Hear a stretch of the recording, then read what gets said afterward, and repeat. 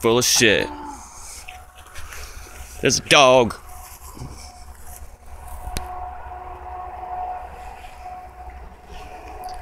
Beautiful. I wonder where all the cattle are. Yeah.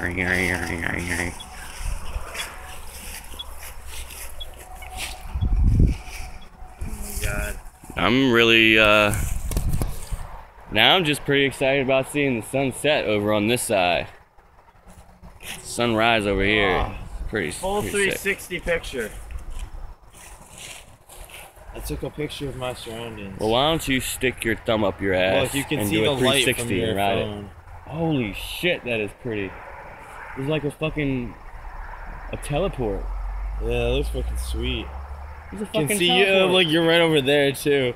Could totally be like, look, it's an alien picture. You can't explain that right there. You really can't explain that because not only do ghosts um, manipulate light and pictures, so do aliens. oh yeah, they But do. you can actually. Alien's see- got a lot of potential though. You should um, check out the book if you ever want to check out anything that I'm talking about or think is interesting that you would like.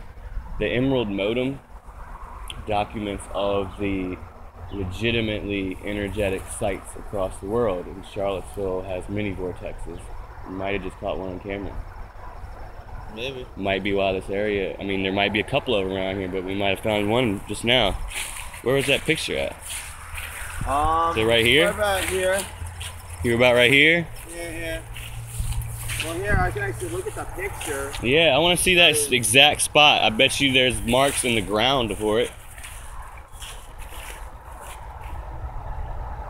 Pictures don't hold coincidences, bro. They're pictures. Alright, so like that. So yeah, it's right about here. Yeah, yeah, yeah. It might have been from your light when you were walking around too. Yeah, but you caught me on the other side. I thought. Yeah, but as as I was catching you, you walked around and walked over there, so it caught you in the picture as you're over there. That's what I was saying. It could be perceived. Well, my one. email address is carrier of light.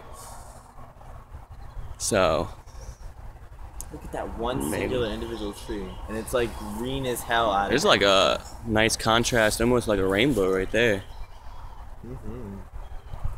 Oh man, Pretty nice. Pretty nice. that is a beautiful blue sky right there. I'm gonna tell you Well, one it's not thing. blue. Jillian DeMarco did not know how to fully enjoy this area. She knew how to come and observe it and destroy it, but she didn't know how to. DeMarco. Jillian. You said Jill. Oh, that's right. Her last name. Her last name is DeMarco. So freaking weird that it's DeMarco. Oh, we were tripping on it too, man, because we figured it out in the car together. And we were just like, because he was hitting on her that night heavily. And when I was just like,